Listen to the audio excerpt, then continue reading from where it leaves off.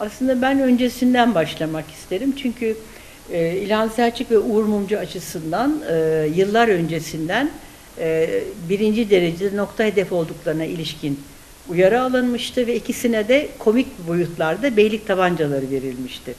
Ben e, beni çok etkileyen onların ikisinin o ellerine silah almamış insanların e, o minik ellerindeki tabancalarla bak işte şöyle çekilir böyle çekilir diye benim karşımda şaka yapmalarıydı. Çünkü silahla korunabilecekleri bir e, tehdit algısı söz konusu değildi. Çok şiddetli bir tehdit algısı vardı.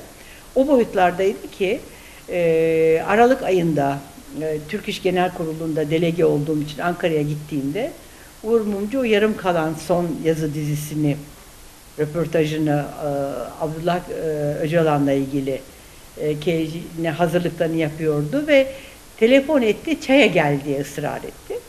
E, evine gittim akşamüstü Türk İş Genel Kurulu'ndan sonra. E, ve e, her zamanki gibi Cumhuriyet'in çok sorunlu yılları, yaşamasının da zorlu olduğu yıllar nedeniyle de e, sohbette yani işte o kitabından falan söz ettikten sonra kapıda ya doğru yani bir üst katta çünkü alt katta evi, bodrum kattan üst kata çıkılıyor.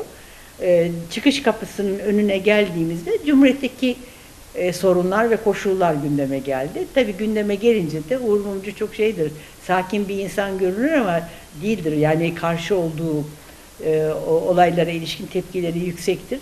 Ve Cumhuriyeti nasıl kurtaracağımız başlayınca konuşmaya bir saatten fazla biz kapının arkasında Aralık ayı soğuğunda Ankara'nın konuşmuş olduk. Çok daha fazla daha diyebilirim.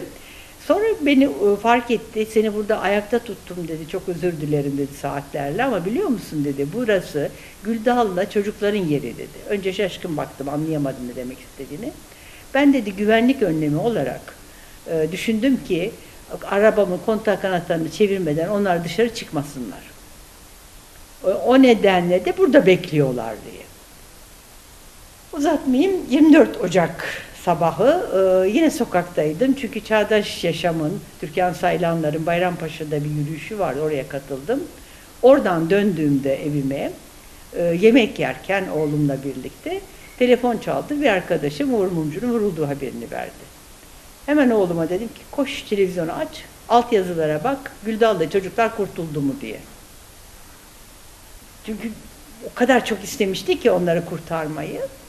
Altyazıda bir şey okuyamadık ama Güldal'la çocukları kurtarmayı başarmıştı.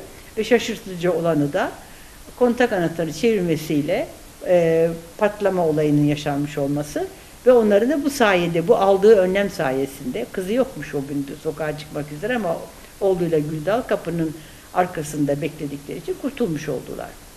E, bu kadar öngörülü bir e, cinayet tasarımı söz konusu e, ve beklenti söz konusu ve e, odak noktada olmak söz konusu. Doğal olarak bütün toplumun içinde yani o yüz binleri sokaklara döken olay herkesin adına insan haklarını ve onların haklarını savunan bir Don Quixote konumunda olma, çok etkili olabilme rolüyle ilgiliydi. İddiaların hiçbirinin ne kadar doğru ne kadar yalan olduğunu bilme şansımız yok. Ama çok net olarak bildiğimiz bir şey var. Bunların hepsi ulusal ve uluslararası ölçekte çok büyük provokasyonların ürünüdür.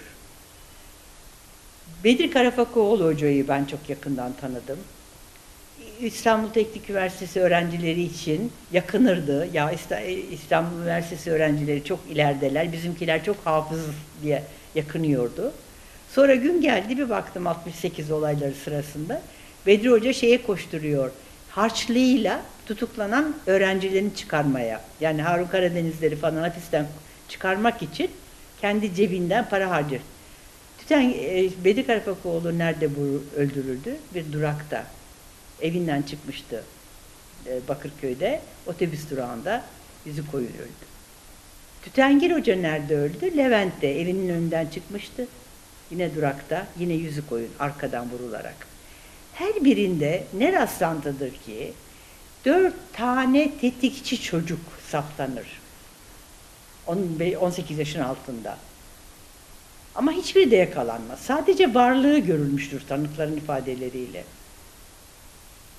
Onun için provokasyonların e, daha tetikçi kullanma yöntemi aynı yöntemdir.